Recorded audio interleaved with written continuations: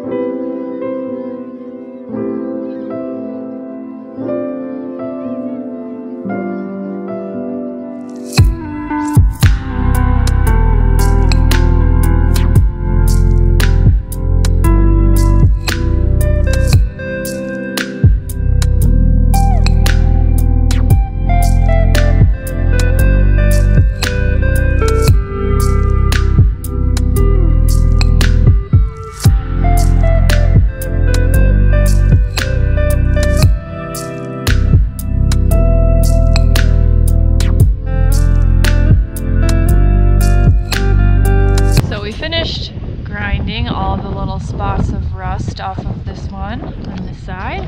We went with the angle grinder and grinded the spaces that we could access with the grinder and for the corners down here I used the sandblaster to get in here and kind of around and on the top and on the bottom and for little places that the grinder couldn't reach like in here or like uh, beneath this little area.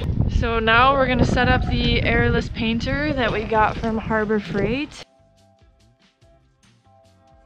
And uh, paint the container.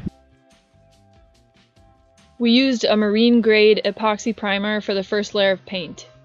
We chose this paint because it's specifically made for containers and we wanted the best protection against corrosion since we have a lot of moisture and salt in the air due to the proximity of the ocean to our building site. For the areas that we needed to be more precise or the areas that were difficult to reach, we used an air spray gun which hooks up to an air compressor. To paint large areas in a quick amount of time, we used the airless sprayer. So this is the final product of all of our work that we did yesterday. I didn't have a chance to film while we were doing the painting because we were in a race against the sun, trying to finish before the sunset, so didn't have time to catch any of that. But today we're working on this one, so I should have the ability to kind of film while we do this one.